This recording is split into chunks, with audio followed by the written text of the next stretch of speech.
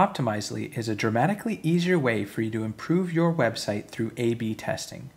I'm going to show you an example of using Optimizely to create an experiment on Dropbox.com.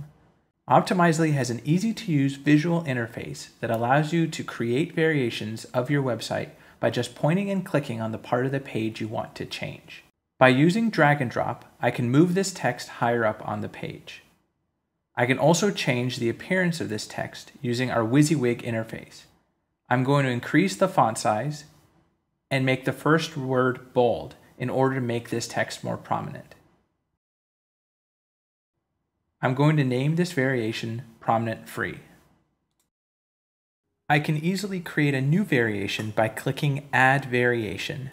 In this second variation, I'm going to change the green download Dropbox button into a blue button by uploading a new image from my computer. I'm going to name this variation Blue Download Button. In this third variation, I'm going to bring the Download Dropbox button higher up on the page. I'm going to do this by resizing the play button by just dragging its corner. I want to move the button and the text below it together, so in order to do this, I can click on one of them and then choose Select Container. Now I have both elements selected, and I can move them together with drag and drop. I'm going to name this variation Small Play Button. In this last variation, I'm going to add new functionality. I want to change this page so that when a user moves their mouse over the play button, it automatically starts playing the video.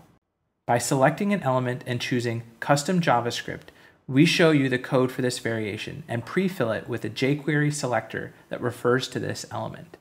I'm going to set the mouseover event handler for this element to call the play screencast function. By clicking preview variation, I can verify to make sure this works. Great, it works. I'm going to name this variation mouseover autoplay. In order to save this experiment, you need to create an Optimizely account. Everything I've shown you up until this point does not require an account. It's time to start the experiment. In order to run an experiment on your page, all you have to do is copy and paste this one line of JavaScript to your site and place it at the top of the head section of the pages you want to run the experiment on and the pages you want to track. This one line of JavaScript is unique to your account and will never change, so if you want to run another experiment later on, you don't have to change anything on your site. Now that the code snippet is on the site, we will begin collecting data immediately, and you can see the results in real time. The default metric we show you on your dashboard is engagement rate. Engagement rate is defined as the percentage of people who click a link or submit a form on an experiment page. Here you can see the different engagement rates for each variation. You can also add a custom goal. I'm going to add a custom goal to see how many people actually downloaded Dropbox.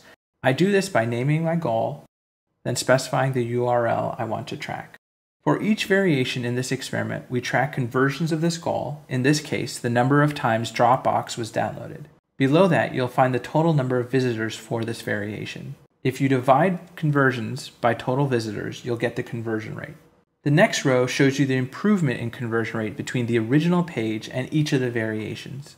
In order to determine whether this improvement is statistically significant, we provide you a measure of statistical confidence. If you want to try Optimizely on your website, just go to optimizely.com and enter your website URL to get started. Thanks!